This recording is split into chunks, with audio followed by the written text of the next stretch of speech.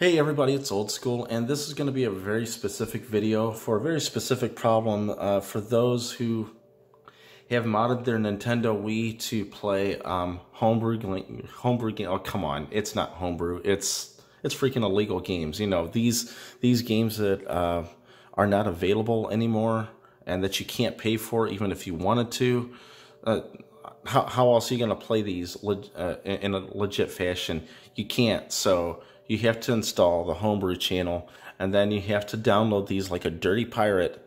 And um, so uh, what's the problem? The the problem is, is that um, the Wii only has 512 megabytes of internal space which is not a lot at all especially for uh, these the, the WiiWare games because they're uh, some of them can get up to like 48 meg a piece. And so you do the math you can't you can't load very much onto the Wii's internal memory. So what's the next best thing? You know, is just to put it onto the SD card.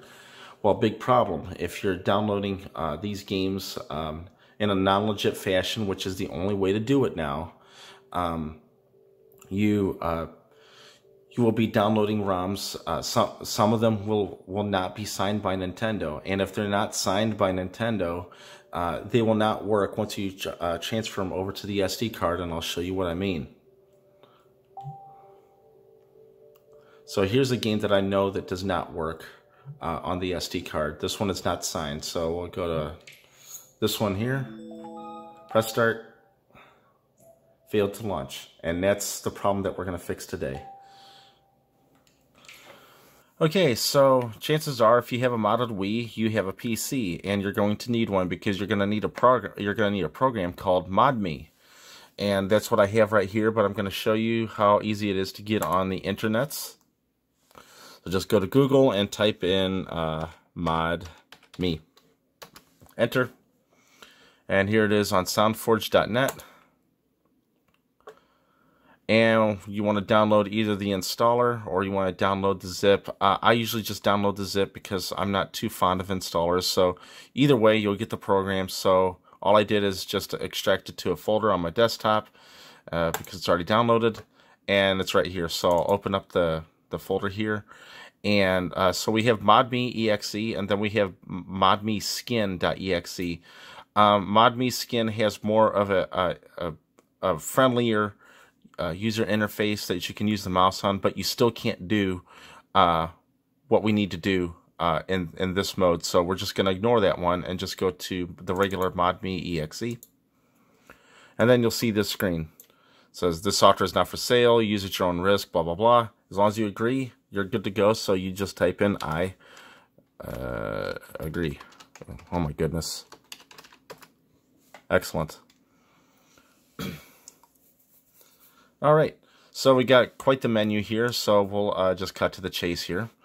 And uh, we want number one, the, the number one download page, which is system menus, iOS's, MIOS's, and channels.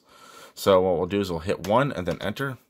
And then we've got a bunch of um, uh, what we call fake signed uh, iOSs, and uh, that's that's definitely what we want to look at because um, we're looking to run fake signed channels, and um, iOS 80 is what we're looking for. The iOS 80 patch is what we're looking for for um, 4.3 uh, U software, and uh, that is right here. Actually, it's number 80. So what you want to do, it says 80 equals iOS 80 patched. And so what you want to do is just type in 80 and then enter.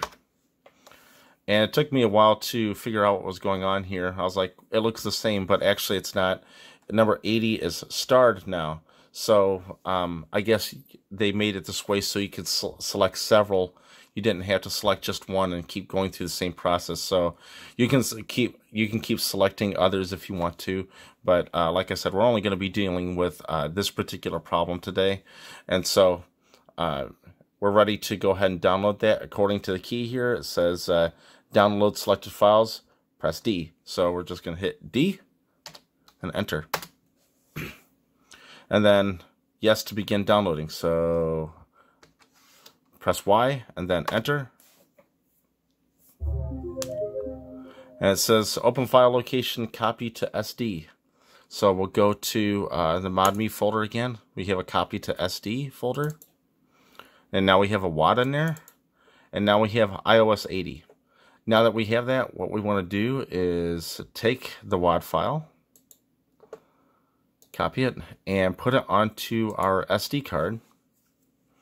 And you can put it pretty much wherever you want to, but just to keep it nice and neat, we'll slap it into the WADs folder. Paste. And just like that, that's all we need. So now that we got that on the SD card, let's go back to the Wii and see if we can make some magic happen.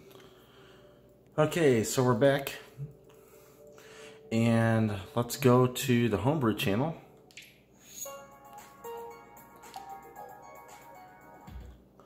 And we're going to install this this um, this fix um, just like we would install any other WiiWare or Wii Virtual Console game. So it requires us to do iOS 249, go to WAD Manager, go to WADs, and uh, there it is, iOS 80. So we just hit A, hit A. Now, of course, um, you should have preloader installed to keep from breaking your Wii, just in case something goes wrong. Uh, if you don't know what that is, we'll talk about that in a minute.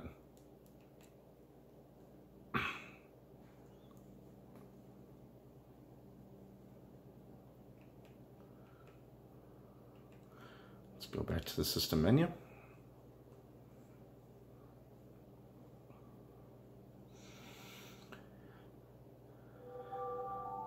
And we're back.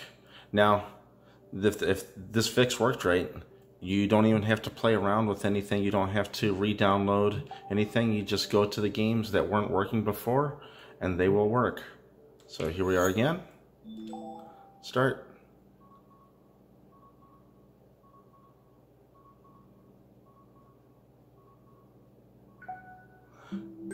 And there it goes. Now it's telling me I need the classic controller. It's not going to find it, and then it's going to say connect it or uh, press the A button to go back to the Wii menu. So we'll just stop there. Obviously, that fixed the problem. And uh, so now let's talk about, actually, let's go back to the, um, let's go back to the menu. And uh, let's talk about our preloader for a second. Uh, actually, let's just talk about uh, modding your Wii. Um, uh, period. So if if uh, you're one of my subscribers and you've never um, even thought about modding your Wii or don't have a Wii to mod, and this kind of looks cool to you, um, I'm not going to go through the process on how to mod your Wii to be able to play Virtual Console and WiiWare games on your Wii um, like a pirate uh, because there's already a fantastic tutorial that I followed in order to learn how to do this. And, and uh, this this is the preloader mod, by the way. And after you load it, it protects your Wii from being bricked by a bad WAD file. And uh, that's um, what um, the, the video that I'm going to tell you to go to and link down in the description um, is by, uh, hopefully you're familiar with him. He's the Modern Vintage Gamer. and ex he has an excellent tutorial on how to, uh, very step-by-step -step process on how to uh, mod your Wii. And then after you get it modded, and then you can uh, do this fix, and then you can be playing games on your Wii like a dirty pirate, just like me. So uh, I hope this channel, uh, channel, I hope this video has been helpful to you. Uh, if you have any questions, I'll try to answer them, but uh, if they're outside of the scope of this video, chances are you'll find somebody else, you'll find another video that can help you uh, with it, uh, with your problem uh, more than I can, because like I said, this, this is a very, very narrow scope problem, and um, I just, I, I learned how to do this from somebody else from looking around YouTube. And it, it's not that hard to find, but this, the, the fix to this particular problem was kind of difficult to find. So if modding your Wii sounds like a cool idea, which it totally is, and you can do a lot more than uh, just this stuff. Obviously, you've got uh, the USB loader where you can load um, completely legit uh, Wii games and GameCube games or not. And uh, of course, the, there's uh, on the mod the ModMii software on the PC that you saw earlier can download uh, a plethora of different kinds of mods from system menu themes and other kinds of software, other emulators if you want to do that, uh, which I'm not in need of. Um, so the, the the sky's the limit, and I, uh, unfortunately I can't I can't take you up any higher than this. So like I said, I'll leave a um, uh, link in the description of for the modern vintage gamer uh, his um, his video on how to mod the Wii, and that should take you where you need to go, and then you can do this fix. So uh, thank you very much for watching, and I hope it helped you.